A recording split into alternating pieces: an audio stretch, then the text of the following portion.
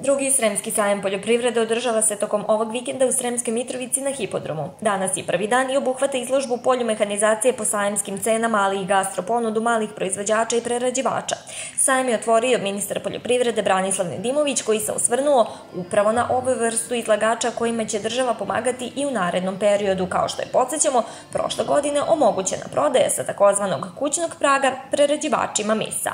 Ono što mogu da najavim, idemo sad korak dalje.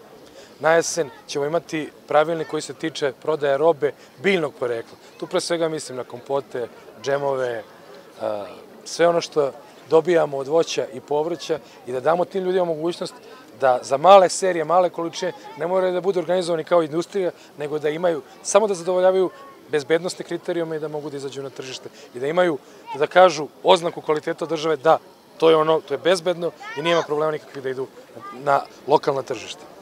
Sajem je podjednako interesantan i muškarcima i ženama. Pored traktora, prikolica i drugih mašina, žene vole ručne radove i domaće proizvode. Pa uopšte mehanizacija za poljoprivrednike, sad ne znam samo uslove prodaje.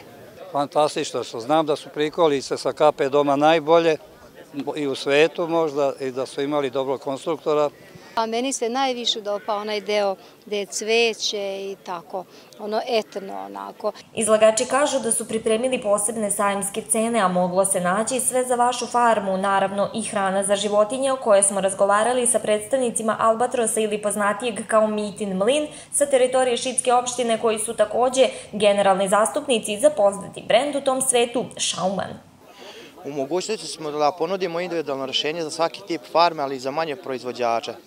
Šauman premiksi za stočnu hranu će e, osigurati prirodne zdrav razvoj životinja. U ponudi imamo premikse i proteinske koncentrate za prasad i svinje u tovu, za krave i tovnu junat, za brojale, ovce, koze i konje. Takođe, u ponudi su i inokulanti za silažu i konzervisanje za žitarice. Najmanja je zarada, ono što kaže moj komšija Jovača Rubljić na gajbicu, znate.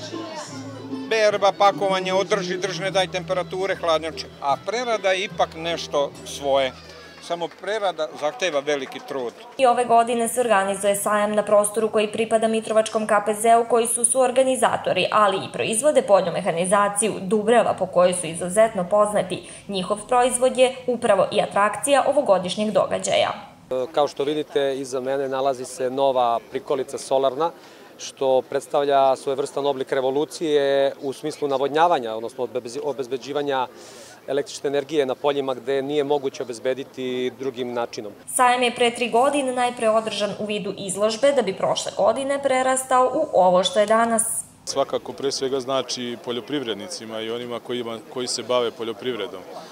Mi, mi na ovoj manifestaciji imamo dva dela. Jedan je sajam mehanizacije, a drugi deo su, je gastro deo gde mali proizvođači kako sira, tako suhomesnati proizvoda imaju priliku da predstave svoje proizvode. Sutra će program, pored sajamskog dela, obuhvatiti i fijakerijadu od 14 sati, a sajem je otvoren do 19 časova.